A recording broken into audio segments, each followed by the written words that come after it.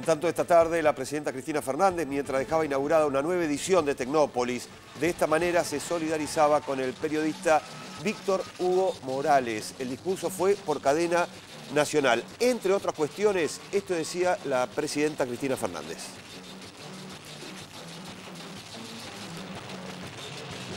Quiero expresar toda mi solidaridad, no puedo dejar de hacerlo, eh, con el periodista eh, Víctor Hugo Morales.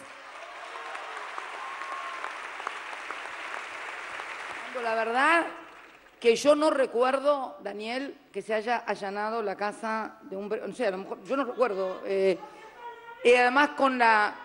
Un periodista, no importa si tiene prestigio o no tiene prestigio, pero además me parece un periodista del prestigio de Víctor Hugo Morales. Y pensar que a otros que tienen causas de lesa humanidad, que tienen causas de lavado de dinero, hace años que las tienen, y no denunciadas por cualquiera, sino por el expresidente del JP Morgan y también por los ex dueños de papel prensa, y ni siquiera les han tomado una declaración no indagatoria, informativa. ¿Saben qué?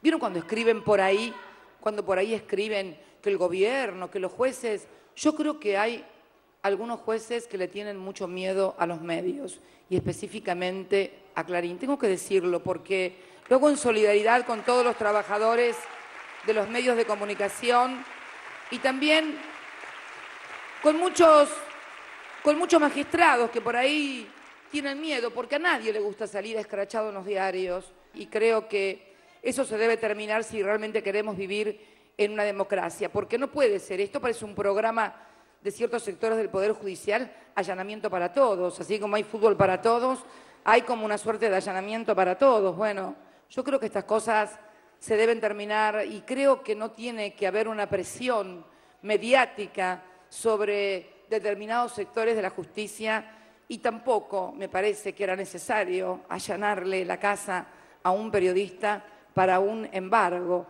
Y fundamentalmente, ¿por qué aparentemente es el embargo? Por manifestaciones que él hizo como periodista. La verdad que si uno tuviera que hacer juicios por las cosas, las falsedades y las mentiras que han publicado en ese mismo medio, y claro, y encontráramos algún juez dispuesto a firmar una sentencia contra ese medio que nunca hasta ahora se ha encontrado.